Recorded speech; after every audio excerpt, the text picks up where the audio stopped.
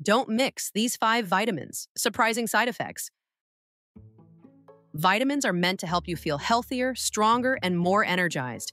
But here's something most people don't realize. If you take the wrong vitamins together, you could actually be blocking your body from using them properly. Think of your digestive system like a busy highway. When two vitamins use the same lane to get into your body, they can cause traffic jams, slowing each other down or even canceling each other out.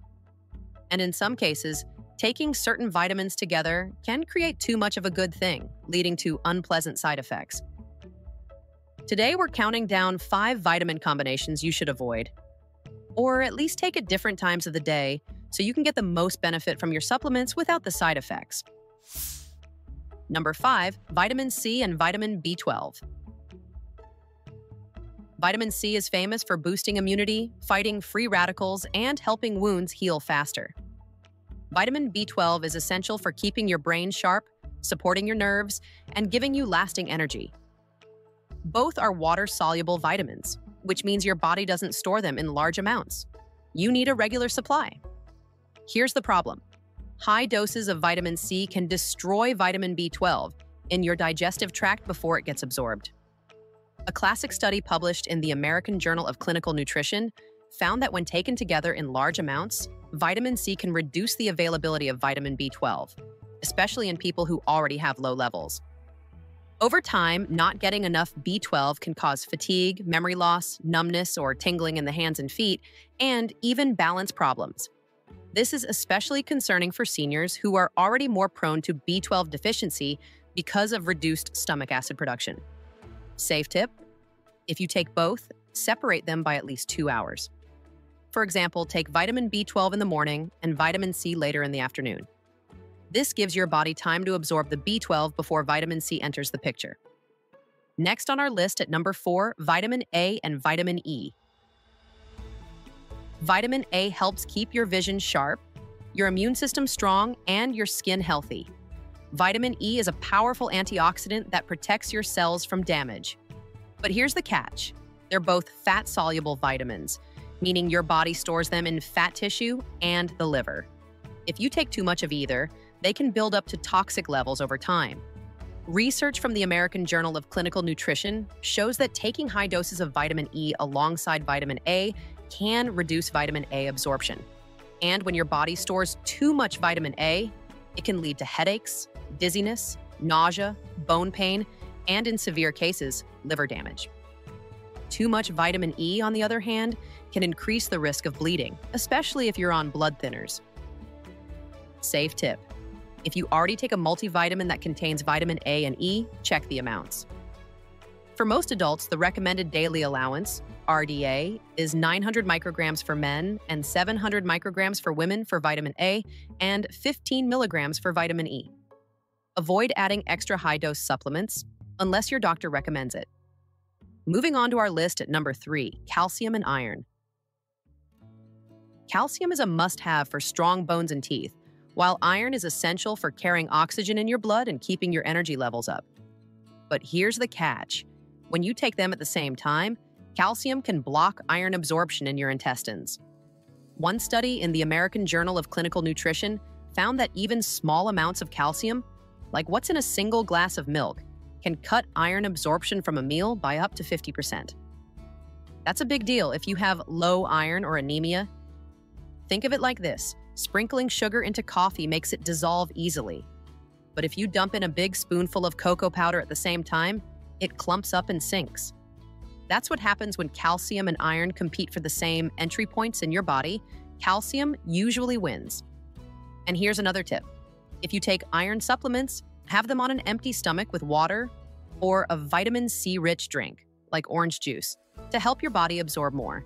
Then take your calcium at a different time of day, preferably with food. We're halfway through our countdown, and if you're enjoying these tips so far, why not give this video a thumbs up? It really helps more people find this information. And while you're at it, hit that subscribe button and tap the notification bell so you won't miss any of our future videos. Number two, vitamin D and vitamin E in high doses. Vitamin D is like your body's calcium helper. Without it, your body can't absorb enough calcium to keep your bones strong. Vitamin E, on the other hand, is a powerful antioxidant. It protects your cells from damage caused by everyday wear and tear. Normally, they work just fine together. But here's the tricky part. When vitamin E is taken in very high doses, it may actually interfere with how well your body absorbs vitamin D. This matters most for older adults, who are already at a higher risk of low vitamin D levels, partly because skin becomes less efficient at making vitamin D from sunlight as we age. Low vitamin D doesn't just weaken your bones, it can also lead to muscle weakness, poor balance, and a higher risk of falls. Think of it like this Vitamin D is the person carrying calcium into your house. Vitamin E is a helpful friend, but if they show up with a huge moving truck and block the driveway, it's harder for vitamin D to get through. Safe tip stick to moderate doses about 15 micrograms, 600 IU for vitamin D, and 15 milligrams for vitamin E, which is what most adults need daily. If you've been told to take high dose vitamin E for medical reason, try taking your vitamin D at a different time of day so they don't compete. Last but not least, at number one, copper and zinc.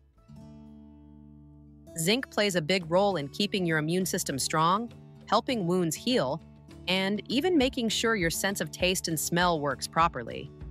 Copper, on the other hand, is essential for producing red blood cells, keeping your nerves healthy, and helping your body make collagen for strong skin and tissues. The problem? They use the same doorways in your intestines to get into your bloodstream. If you take too much zinc, it can crowd copper out, leading to copper deficiency, which can cause anemia, low white blood cell counts, and even nerve issues.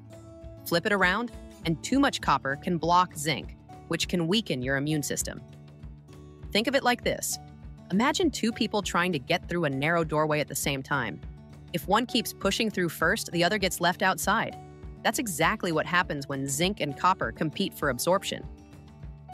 Safe tip a good rule of thumb is a zinc to copper ratio of about 8 to 15 milligrams of zinc for every 1 milligram of copper.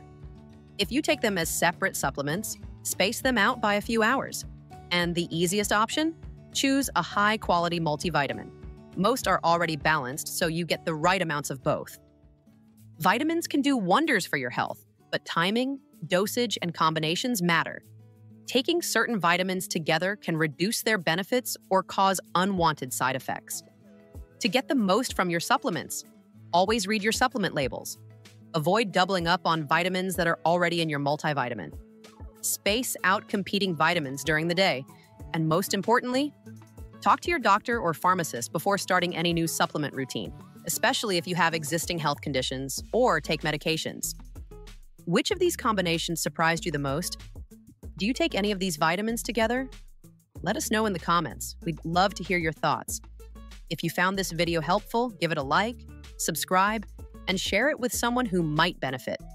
You can also support our channel by checking out our merch or by leaving us a super thanks. Thanks for watching, stay healthy, and we'll see you in the next one.